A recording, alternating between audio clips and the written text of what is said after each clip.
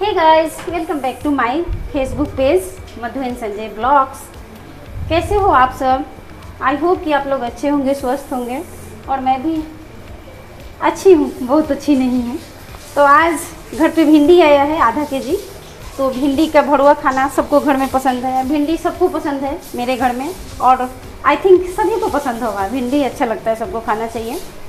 तो बहुत दिनों बाद भिंडी आया है तो सब लोगों को भरुआ खाना है। तो आज मैं भिंडी का भरुआ बनाऊँगी। तो भिंडी के भरुआ बनाने के लिए सबसे पहले हमने आधे के जी भिंडी है, इसको धो के और सूखे कपड़े से पोछ दी हूँ मैं इसको। आप चाहो तो पंखा के नीचे भी रख सकते हो और इसको ऐसे इसका टेल को कट करेंगे, इसके इधर से भी कट करेंगे और उसके बाद इसको हम बीच से काट के देखेंगे कि हर दस भिंडी में आपका दो भिंडी कीड़ा वाला होता है। तो उसको अच्छे से चेक कर लेंगे हम। अच्छे से काट लिए हैं, उसके बाद हम बीच बीच से इसको चेक करेंगे, इस तरीके से चीरा लगाएँगे।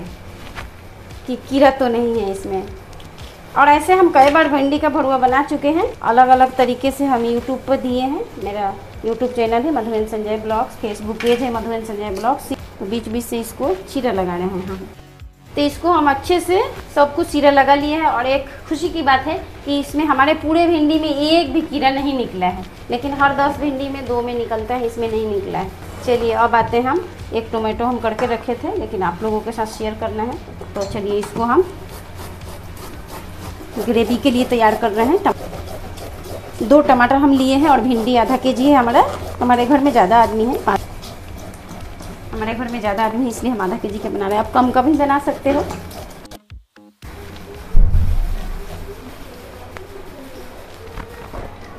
तो आप लोग देख सकते हो मेरा यहाँ पे टमाटर का। आप मिक्सर में भी बना सकते हो। क्या बोलते हैं इसको? प्योरी। इसको हम छोटे से बाटी में डाल लिए हैं। तो ये हमारी टोमेटो प्योरी रेडी है। चलिए, और यहाँ पे गार्लिक है, इसका हम पेस्ट बनाएँगे अभी। तो यहाँ पे मेरा गार्लिक और जिंजर का पेस्ट बन चुका है, लहसुन अदरक का। इसके साथ रख देती हूँ। सुविधा होगा हमें डालने में करिए। इसको साइड तो ऑयल डालूँगी। सरसों तेल है। इसके बाद हम डालेंगे इसमें मास्टर सीड सरसों, पीली वाली है। तो इसको हम तो इसमें हम जो सरसों डाले थे वो मतलब उड़ गई। इसमें डालेंगे थोड़ी सी जीरा हल्दी गार्लिक पेस्ट टोमेटो।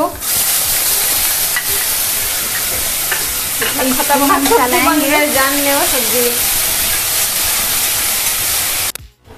इसमें हम जो तीखा खाते हैं ज़्यादा डालेंगे। ड्राई चिली है रेड चिली। तो हम लोग तीखा खाते हैं, इसलिए थोड़ा ज़्यादा डाले हैं।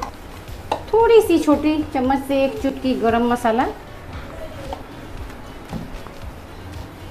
थोड़ी सी धनिया पाउडर। नहीं डालेंगे, इसीलिए हम टोमेटो का जो ग्रेवी बनाए थे, प्योरी, वो डाल दिए हैं। थोड़ी सी तेल दे देंगे साइड साइड से, हम इसको पानी नहीं डालेंगे, इसीलिए हम साइड साइड से थोड़ी सी सरसों तेल डाली हूँ। इसको हम थोड़ी देर के लिए कवर करेंगे, दो मिनट के लिए, कि इसका मसाला का जो कच्चापन है टोमेटो का, वो निकल जाएगा और थोड़ी सी भून जाएगी, आधा कच्चा, आधा पक्का। तो आइए देखते हैं।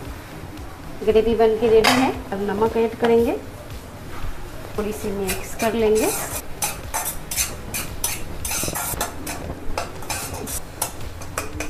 हमारी जो थी, वो बन के रेडी है। इसको हम अब उतार लेते हैं इसको ऑफ़ करते हैं। फिर हम इसे जो मेरे सारे भिंडी कटा हुआ है, उसके एक स्पून के सहारे गर्म है, इसीलिए आप ठंडा करके भी भर सकते हैं, लेकिन हम गर्म ही भरेंगे इसमें। एक एक करके इसमें हम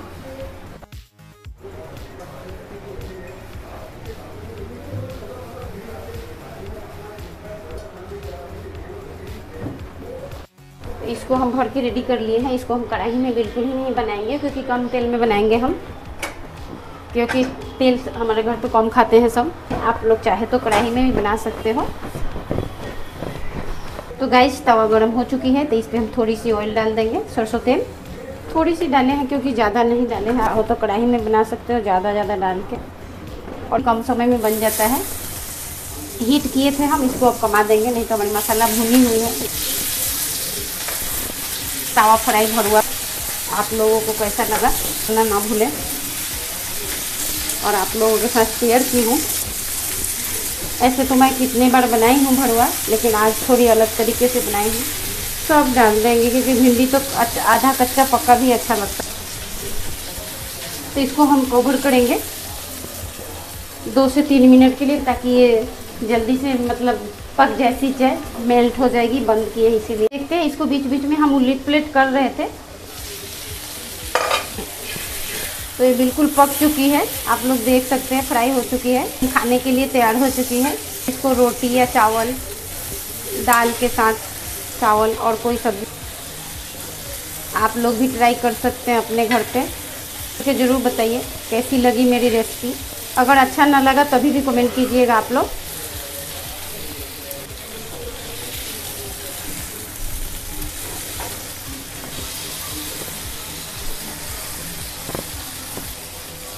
चलिए अब सर्व करते हैं। गरम गरम।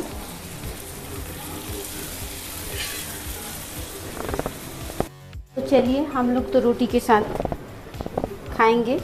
आप लोग चावल के साथ भी खा सकते हो और आप लोग आइए और वीडियो को लाइक, कमेंट, शेयर कीजिए ज़्यादा से ज़्यादा। तब तक के लिए बाय बाय, टाटा। मिलती हूँ कल एक अच्छे से ब्लॉग के साथ। टाटा।